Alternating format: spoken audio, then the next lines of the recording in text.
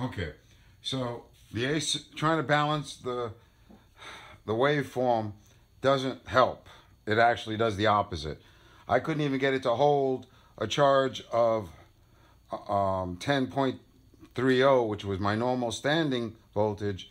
It was, I mean, I charge it all the way, then it would just drop back to 1030. It wouldn't hold past that with balancing the wave. I started pumping it back in and going the other way with it, and now it's doing, it's doing back, is back to doing what it was doing. So I can discharge it down to 1030